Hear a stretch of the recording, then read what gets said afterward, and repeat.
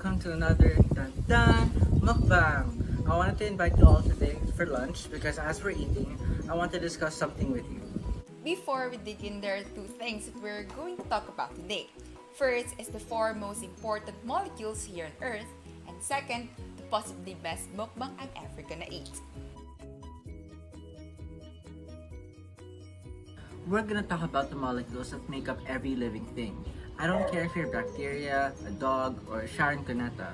They're called macromolecules, and they're the building blocks essential for every living thing on Earth to survive. They are essential sources of energy, a means of storing energy, and the instructions every organism uses to be born and grow. They are the ingredients for life. And they are the carbohydrates, the lipids, the proteins, and the nucleic acid. Now we're going to start out with the most basic ingredients for life the carbohydrates, which is also known as carbs. These are the food that we try to discard whenever we're having a diet. But no one can ever really get rid of it, for these are the source of energy that we have available to us. Carbohydrates are made up of sugars. The simplest of sugars are called monosaccharides. Mono meaning one, and saccharides meaning sugar. Common examples of monosaccharides are glucose, which is very important because it comes from the sun. Every cell that needs energy uses glucose to get that energy through respiration. Fructose is another example of a monosaccharide, which is sweeter than glucose. And then there are disaccharides, which is two monosaccharides joined together by glycosidic bond. An example would be sucrose, which is also known as table sugar, which is fructose and glucose covalently joined together.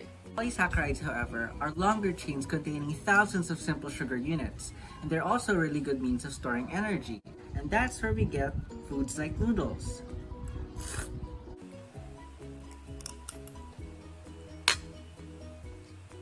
In the long term, however, the way we store energy is through fats.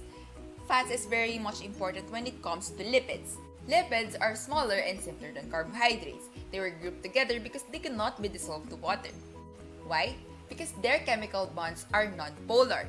And water does not like non-polar, so they basically don't mix together. An example would be an oil and water. Fats are made up of glycerol, which is a kind of alcohol, and fatty acids, which are long carbon hydrogen chains that end in a carboxyl group. If you take three fatty acids and a glycerol, you get a triglyceride. They feature prominently in butter, peanut butter, and oils. See the oil over here? We also have unsaturated fatty acids which have double or triple bonds and saturated fatty acids which have single bonds.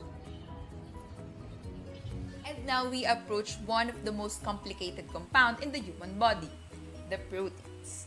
Inside of us are tens and thousands of proteins that are keeping us alive. We have enzymes that help us digest food, defense proteins which help our immune system, transport proteins which help us carry materials from one place in the body to another, Regula regulatory proteins which help us metabolize and reproduce, and so much more.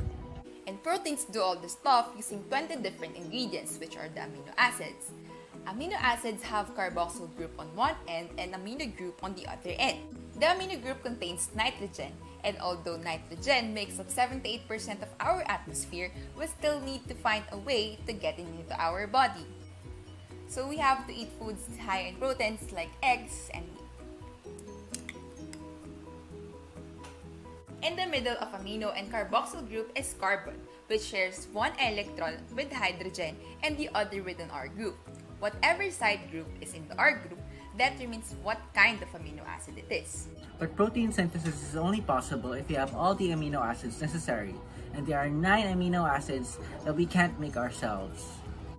These are histidine, isoleucine, leucine, lysine, methionine, phenylalanine, threonine, tryptophan, and valine. Some foods, especially those that contain animal protein, already have all of the essential amino acids, like eggs. Lastly, we have the nucleic acids. Nucleic acids includes DNA and RNA, and they have a monomer called nucleotide, which is very much easy to remember for it really sounds like nucleic acids. DNA and RNA are important for coding our traits, and they are found in a lot of food because whenever you eat something that came from once living, it can still contains DNA, which is like this. Plants, animals, and fruits like these strawberries contain DNA. Actually, any type of life has nucleic acids because their cells need it to direct the activities. Thank you so much for watching our educational mukbang. Stay safe